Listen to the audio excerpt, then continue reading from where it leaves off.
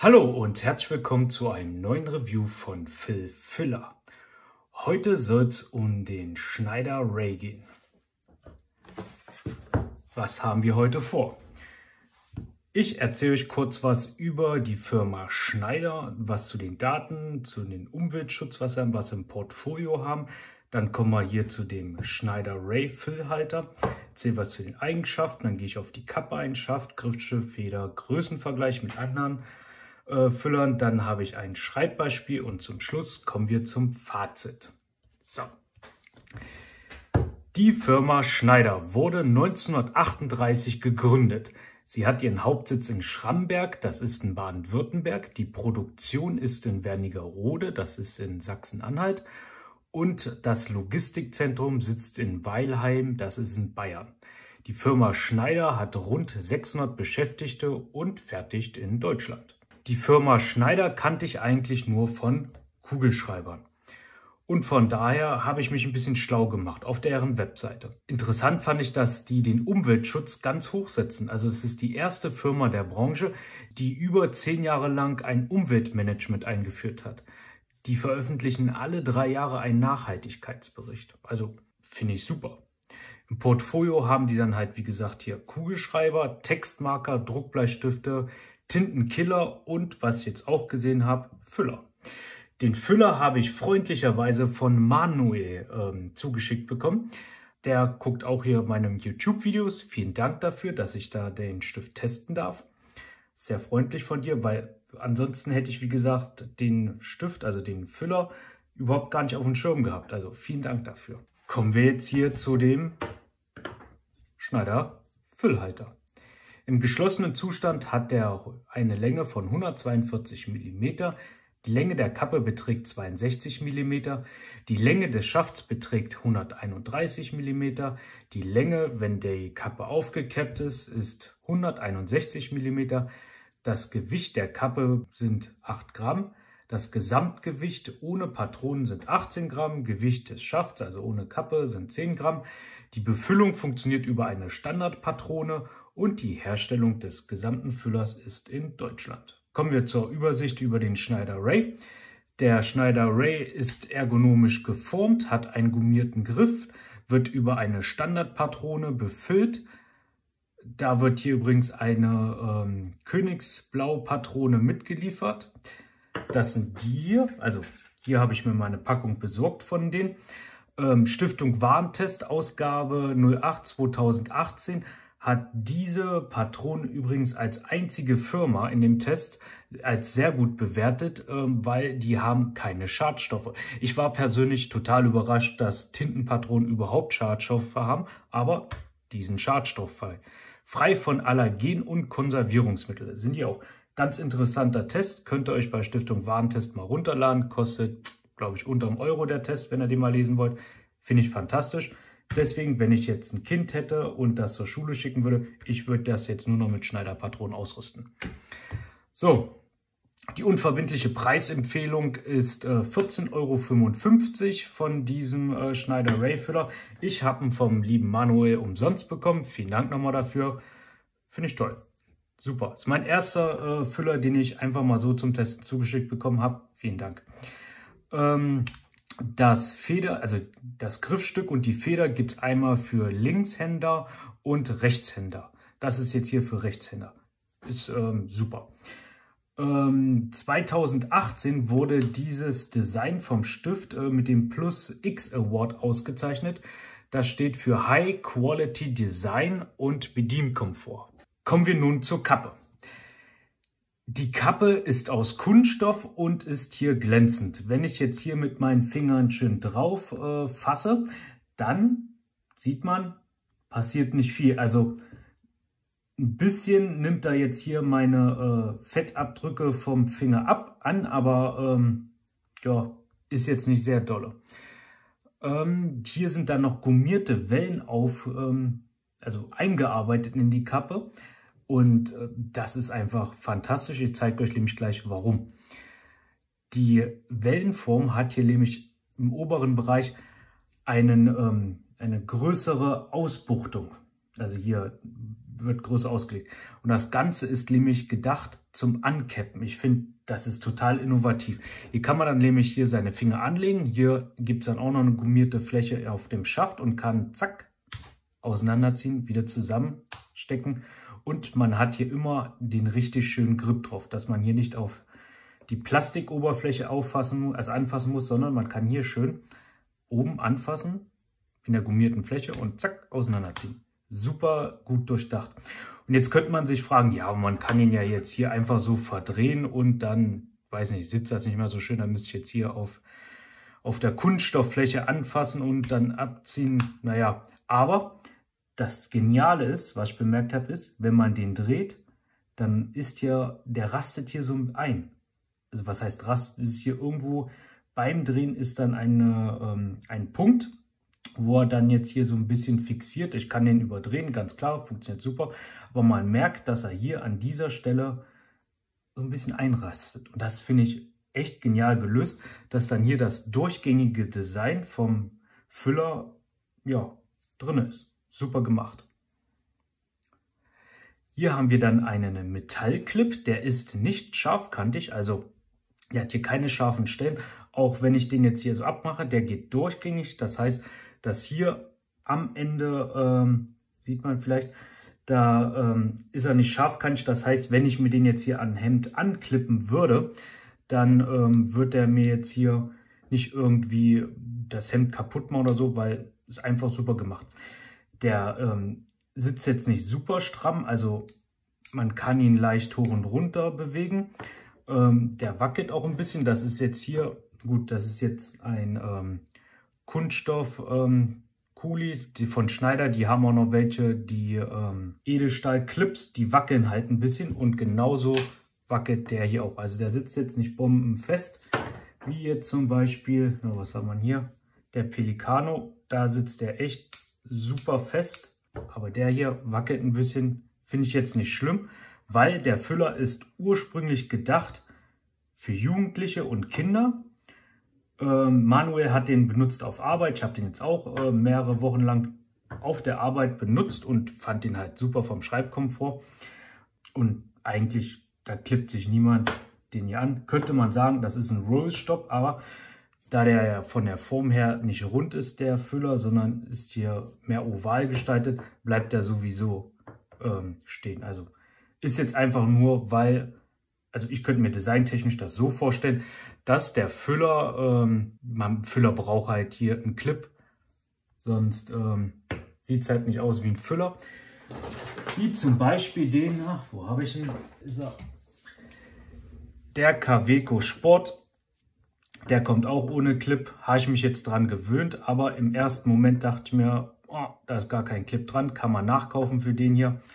Deswegen könnte ich mir vorstellen, äh, dass designtechnisch gehört halt hier ein Clip dran, aber man braucht ihn halt nicht. In der Kappe sitzt ein Inlay drin. Das heißt, wenn ich den Füller jetzt hier zusammenstecke, dann ähm, dichtet hier das Inlay in der Kappe, also das quasi hier wie beim Parker, Parker Jota, ähm, dichtet der dann quasi die Feder ab, sodass er nicht austrocknet. Ich hatte den jetzt auch mal eine Woche lang nur rumliegen und habe dann wieder versucht mit dem zu schreiben und er hat sofort angeschrieben. Also ist eigentlich recht super. Das Ganze wird über einen Klickverschluss arretiert. Das heißt, ähm, der hat jetzt keinen Drehverschluss, sondern man kann jetzt einfach zusammenklicken, dann ist er fest hat den Vorteil, wenn man jetzt in einer Besprechung oder in der Schule sitzt und man hat jetzt zusammen und die Lehrerin erzählt was, kann man den ganz schnell hier auseinanderziehen und sofort losschreiben. Finde ich persönlich recht praktisch. Ja, kommen wir jetzt zum Schaft. Der Schaft greift hier, ich mache mal zusammen, sonst trocknet er doch aus. Der Schaft greift die Wellenform von der Kappe auf. Das heißt, hier geht dann die Welle schön über und geht dann hier auch in eine gummierte Fläche über. Hier habe ich dann hier schön eine Grifffläche, um den auseinanderzuziehen. Hier habe ich das Schneider-Logo, also hier Schneider und dann das Logo von Schneider. Auf der anderen Seite steht dann Made in Germany, weil er wird, wie gesagt, in Wernigerode äh, hergestellt. Ist halt ein deutsches äh, Qualitätsprodukt.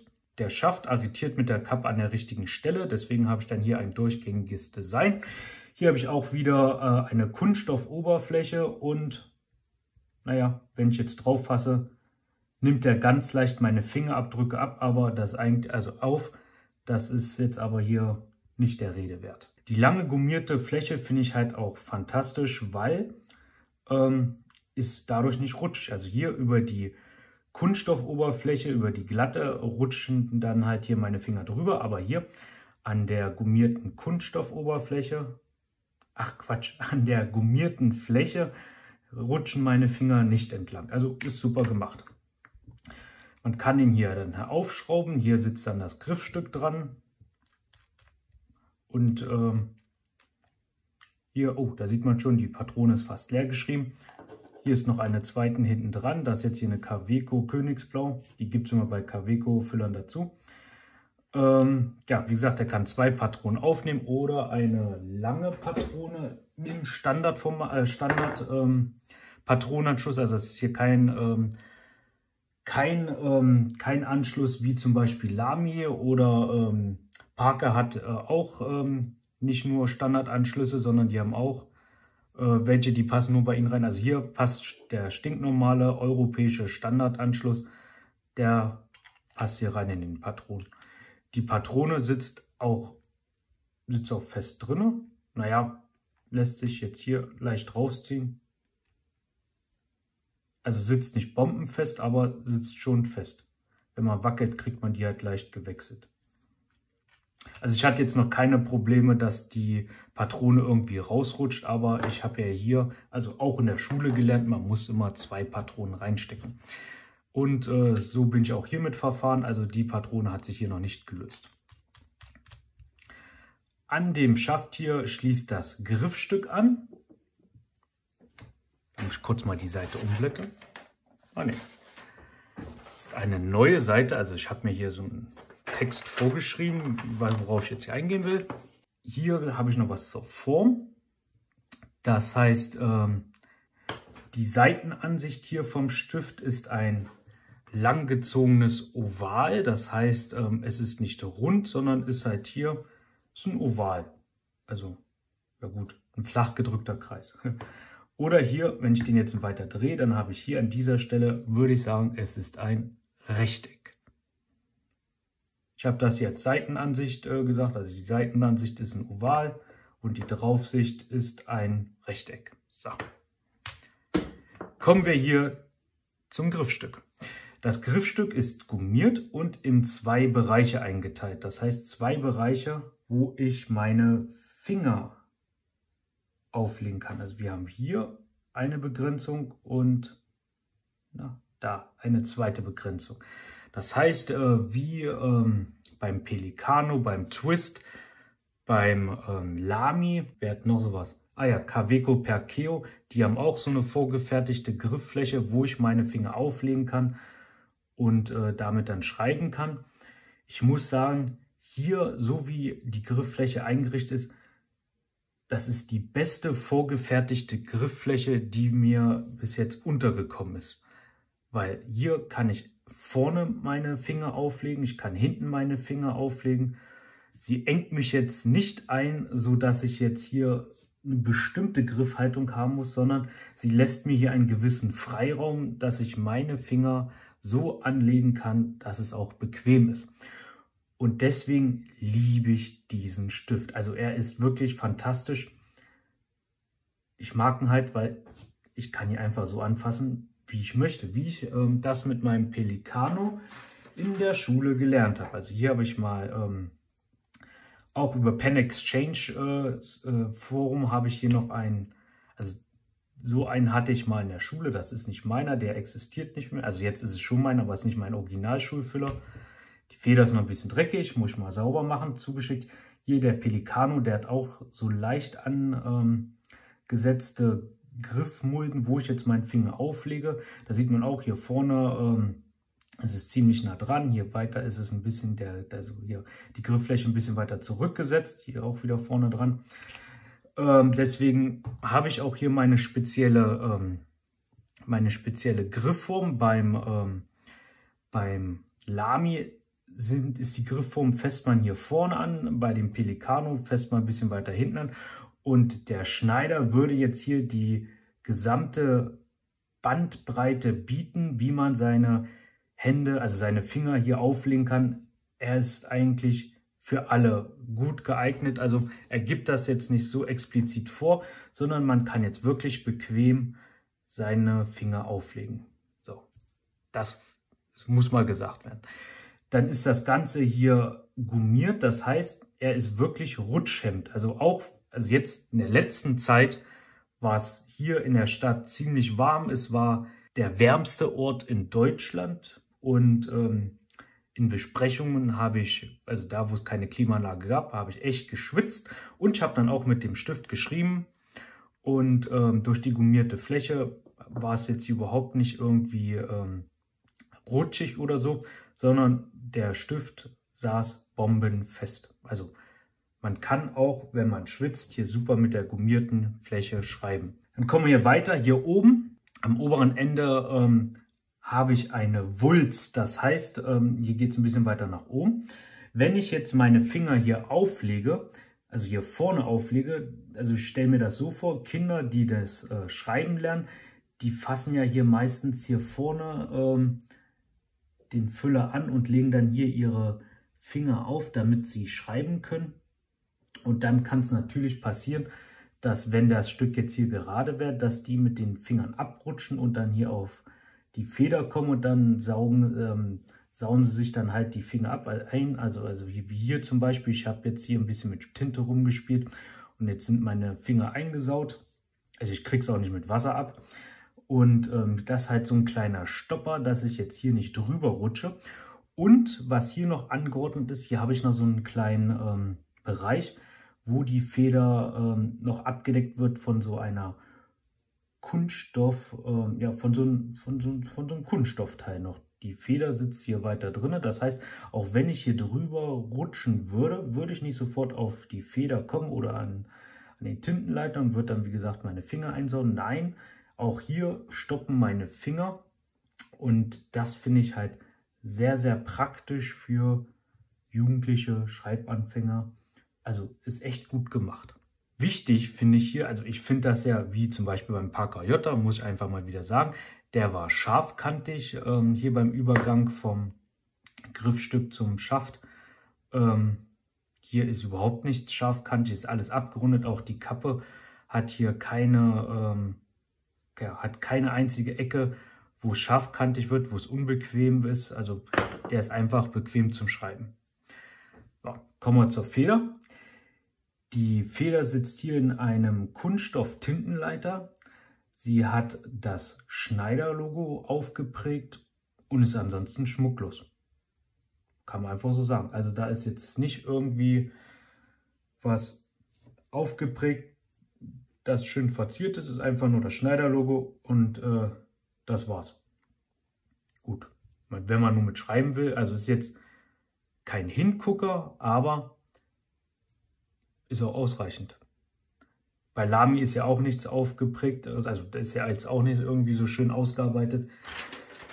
Wenn man hier sich zum Beispiel ähm, von den Kaweco, wenn man den daneben also die Feder daneben liegt. Dann hat die halt hier noch so ein paar Schnörkel aufgeprägt. Ähm, sieht halt ein bisschen schöner aus, aber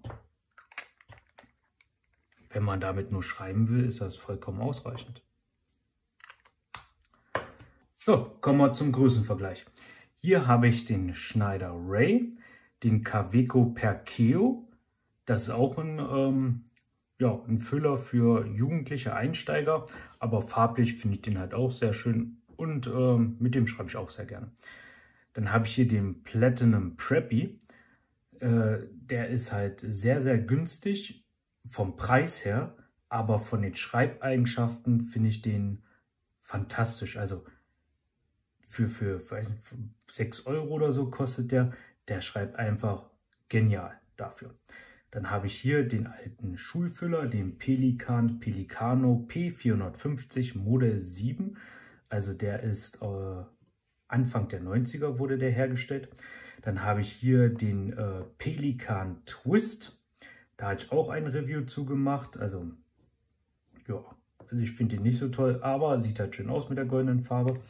Dann habe ich hier ähm, den Twispy Eco und den Caveco Sport im Größenvergleich.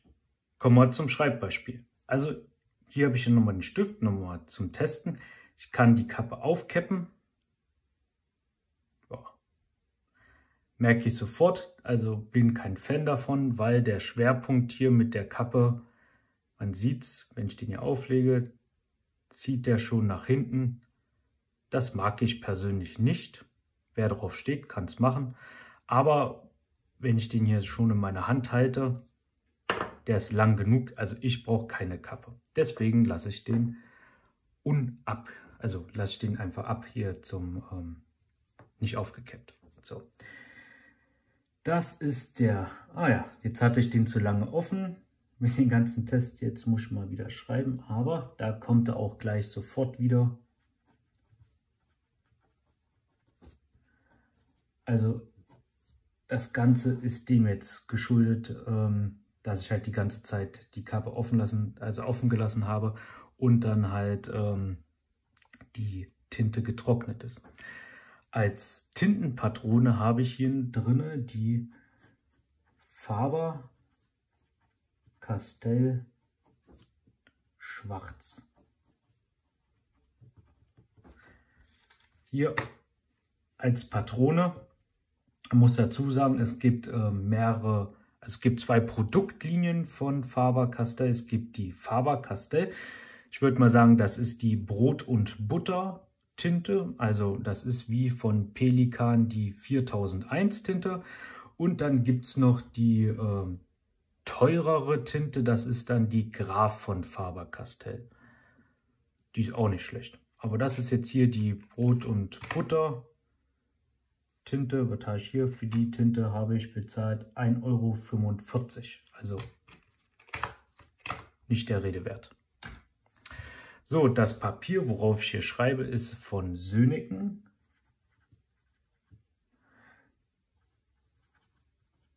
Äh, das ist ein DIN A5 College Block.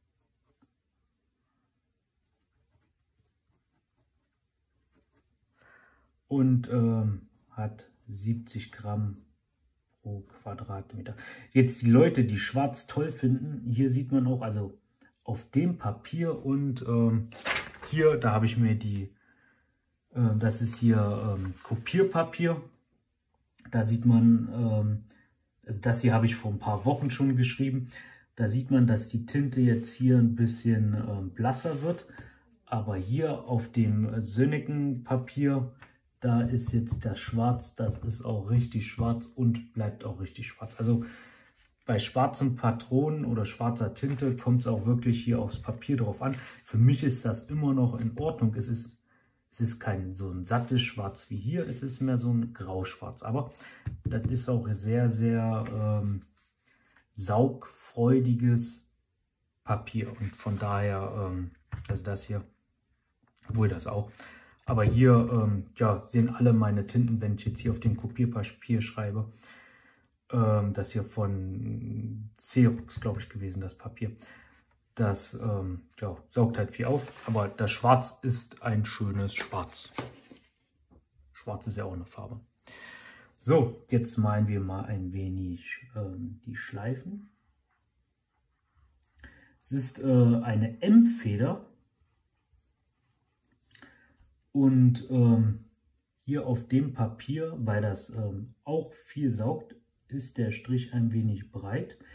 Die Feder ist butterweich, also sie, ähm, ich kann hier noch ein bisschen flexen, dann wird der Strich ein bisschen dicker. Aber nur marginal.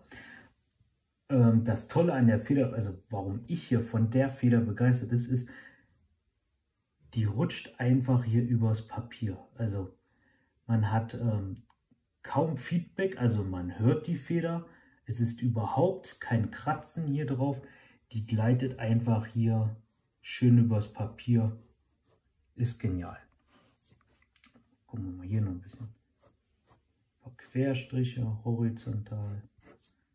Boah, ist alles gleichmäßig, würde ich mal behaupten. Das heißt, es gibt hier keine Linienvarianz. Es ist eine, ähm, ja, ist eine M-Feder. Jetzt noch der Satz aller Sätze. The Quick Brown Fox jumps over the lazy dog. Also man kann äh, sehr schön mit der Feder schreiben. Also ich hier kann ja auch schnell schreiben, also funktioniert alles ganz wunderbar. Wenn man jetzt hier das Papier wegen der Linienvarianz nochmal sieht, ich könnte jetzt hier auch nochmal, da seht ihr, es kommt auch aufs Papier drauf an.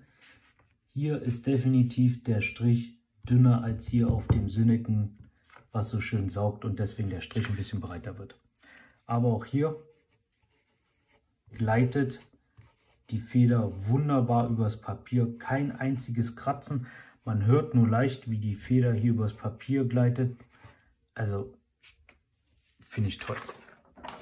Das kann zum Beispiel mein ähm, Pelikan ähm, M805. Äh, den muss ich jetzt auch erst einschreiben, bis er diese Eigenschaften jetzt hier gekriegt hat. Wie hier diese Feder so schön übers Papier gleitet. Also ich mag das sehr. So, noch was, weil ich ein Fan davon bin, dass der Schwerpunkt hier auf der Feder liegt und nicht irgendwo hier hinten im Bereich.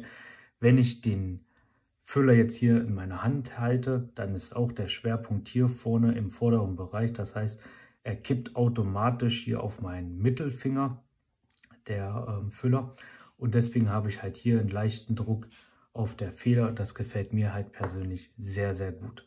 Er liegt auch super in der Hand. Ich habe jetzt hier in einer Besprechung, die äh, drei Stunden ging, habe ich auch alles äh, protokolliert, mitgeschrieben mit dem Füller hier und man kann hier auch lange mitschreiben. Also ich hatte jetzt nicht irgendwie, dass meine Hand geschmerzt hat. Also ich konnte hier richtig gut mitschreiben.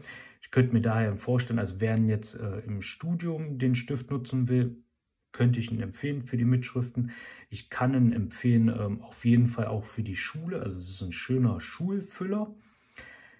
Ähm, vielleicht, also von der Größe her, vielleicht fünf, ne Quatsch, sechs- oder siebenjähriger oder jähriger.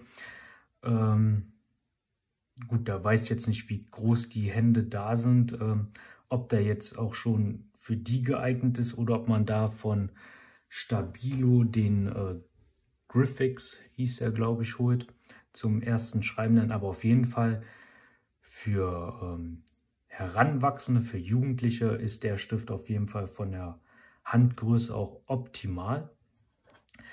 Ähm, Manuel hat mir diesen übrigens ähm, geschickt, weil er fand äh, den nicht schick genug für Besprechungen. Und ähm, ja, das stimmt. also mit dem, ähm, weil der halt aus Kunststoff ist, ähm, holt man da jetzt, wenn man den jetzt irgendwie als Prestigeobjekt benutzen möchte, ähm, würde man jetzt hier damit niemand, ähm, ja, also man beeindruckt hiermit niemanden. Es als reines Schreibgerät finde ich den fantastisch. Wenn der jetzt irgendwie aus Metall wäre, aus Edelstahl, aus Aluminium, dann wäre es eine ganz andere Hausnummer. Gut, dann wird er auch keine 14,55 Euro mehr kosten, dann wäre der natürlich auch teurer. Aber ähm, so, es ist ein Schreibgerät, zum reines Schreiben ist der halt super. Aber wenn man jetzt, weiß nicht, hier, wenn man den jetzt zum Beispiel nimmt. Gut, der kostet auch ein bisschen mehr. Ähm, aber der macht halt ein bisschen mehr was her. Der sieht halt wirklich so aus wie so ein Schulfüller oder fürs Studium. Im Studium hatte ich auch, äh, ja, hatte auch einen Füller, der hat 30 Euro gekostet. Der sah auch nicht viel besser aus als der hier. Aber ähm, ja, für einen reinen Schulfüller, für wenn man jetzt im Büro einfach nur schreiben will damit, ist der perfekt. So, für die Zukunft, was ich mir wünschen würde für diesen Füller. es gibt ähm, Feinliner von Schneider, die haben im Line-Up, ähm, die sind aus bio, äh, biobasierenden Kunststoff. Äh, ach nee, der Schneider Feinliner heißt sogar Line-Up. Oder es gibt den ähm, Schneider Kugelschreiber Slider Excite. Die sind alle aus biobasierten Kunststoff. Und man muss sagen, also es ist schon fantastisch, was Schneider hier für einen Umweltschutz äh, macht. Also alleine dafür würde ich den Füller kaufen. Oder halt die Coolies. Aber da wir, ähm, also privat habe ich halt hier die Schneider und auf Arbeit haben wir auch Schneider Coolies. Also von daher sind wir mit Schneider gut versorgt.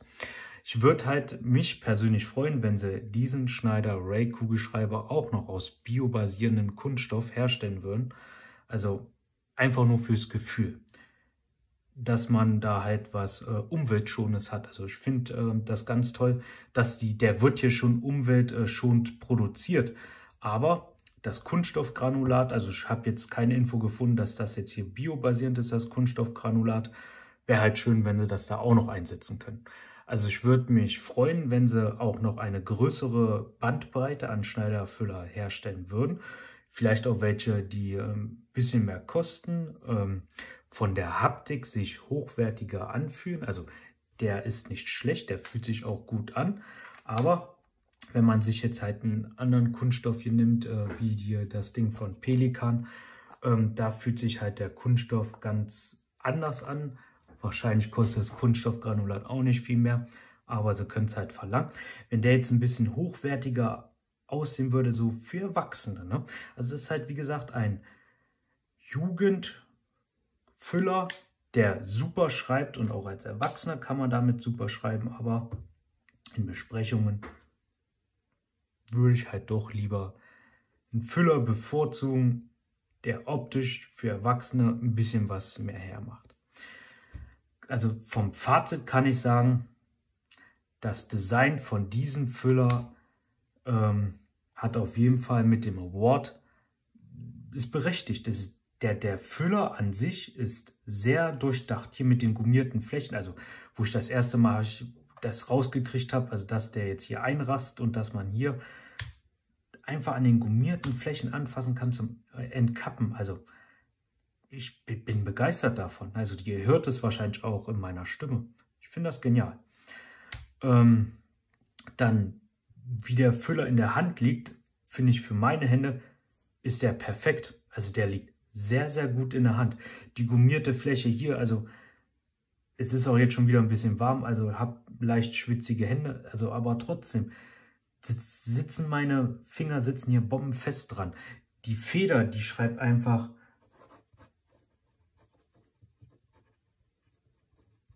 fantastisch. Also, ich liebe die Feder. Also, es ist ein sehr, sehr gutes Produkt. Made in Germany. Gefällt mir ja noch mehr. Ähm, ja, was soll ich dazu sagen? Ähm, ist für mich eine klare Kaufempfehlung für äh, Schüler, Studenten oder wenn ihr den einfach nur zu Hause zum Schreiben benutzen wollt ich würde das, ich würde den Füller sofort kaufen. Den gibt es übrigens nicht nur hier, wie äh, Manuel damals gekauft hat, das ist die Farbe Onyx. Den gibt es auch in schön bunt oder in schwarz-weiß. Gibt es den auch. Also es ist jetzt hier, sieht er vielleicht, ähm, hat ja auch meine Freundin gesagt, äh, für Kinder ist jetzt diese, ist jetzt die Farbe jetzt vielleicht nicht so toll, aber den gibt es wie gesagt auch in schön bunt für Kinder. Jo. Von daher, wenn ich jetzt eine ähm, zum Beispiel mein Patenkind kriegt das Ding jetzt verpasst in schön bunt. Ja, für die ist es dann wahrscheinlich ähm, auch ein super Füller. Also ich persönlich würde, wie gesagt, eine klare Kaufempfehlung hier für diesen Füller aussprechen. Ja, wenn euch das Video gefallen hat, macht einen, also gebt mir einen Daumen hoch. Wenn ihr mich noch nicht abonniert habt, abonniert mich. Und jetzt ähm, noch eine Fangfrage. Diese ähm, Faber-Castell schwarz. Wenn ich Wasser auf dieses Blatt Papier gebe, die Farbe ist, also die Tinte ist komplett weg. Also ist nicht wasserfest. Warum geht so eine Tinte nicht ab von den Fingern? Vielleicht könnt ihr mir das mal erklären. Oder ich muss einfach mal die Maus fragen. Aber ich habe jetzt hier meine Hände geschrubbt. Ich habe auch äh, Nagellackentferner benutzt. Sie geht einfach nicht ab. Warum geht Tinte nicht von den Händen ab? Tja, vielleicht könnt ihr mir das auch mal beantworten, die Frage. Schreibt es mir einfach in den Kommentaren rein. Ja. Falls ihr noch irgendwas habt, was ich testen soll, oder falls ihr Bock habt, dass ihr mir mal wie der Manuel einen Stift zuschickt, den ich testen soll, könnt ihr gerne machen. Schreibt mir einfach in den Kommentaren, ich melde mich dann. Ja, ich hoffe, euch hat es gefallen und ähm, ja, wir sehen uns wieder. Macht's gut. Ciao.